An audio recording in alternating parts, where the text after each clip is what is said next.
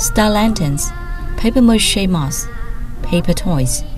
These familiar objects associated with the traditional Mid-Autumn Festival are beautifully displayed, bringing people back to a time filled with nostalgia. Coming to the program, the children and their parents are free to make the lanterns or lamps from recycled materials under the help of young people.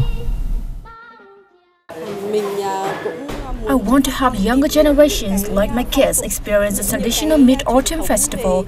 That's why I brought my kids here. I had fun making the traditional toys and I can play around with my siblings. The finished products will be given to the participants to take home as souvenir or participate in the contest. Each family has one toy. The toys will be kept at the Vietnamese Folk Village Club. The traditional toys and folk games are fading, and not many people pay attention to this.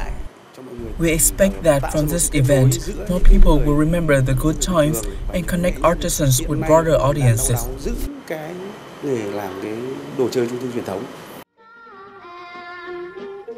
The Father's Mid-Autumn is an opportunity for family members to gather and spend time together.